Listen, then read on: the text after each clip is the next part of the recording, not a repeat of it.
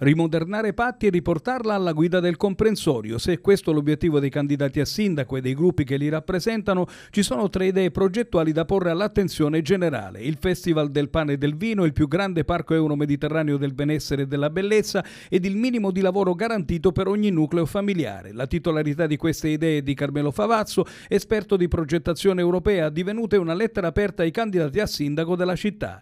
Il Festival internazionale del pane e del vino che coinvolga i paesi del Mediterraneo per mettere al centro l'importanza del pane nella storia dell'umanità e nelle tradizioni, puntando a valorizzare gli aspetti culturali, religiosi, storici, musicali, turistici ed economici. Il più grande parco euro-mediterraneo del benessere e della bellezza è un'idea già presentata dal Consorzio Noè e dal Consorzio Tindari Nebrodi, quale contributo al recovery plan per una vasta area che comprende i Nebrodi e le isole Olie. Per raggiungere questo obiettivo il primo passo dovrebbe essere l'adesione al più grande parco euro-mediterraneo del benessere e della bellezza con patti promotore.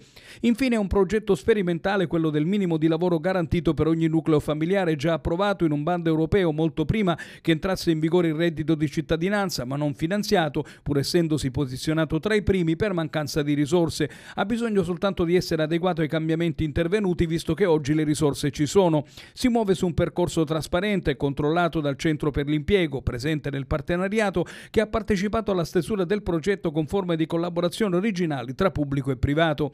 Patti è favorita anche perché capofila del distretto sociosanitario. Carmelo Favazzo nel presentare queste idee per chi le riterrà utili e interessanti potrà considerarle parte del suo programma con un unico vincolo, qualsiasi sarà il loro risultato alla guida della città o all'opposizione dovranno assicurare un impegno a sostenerle nell'interesse della collettività.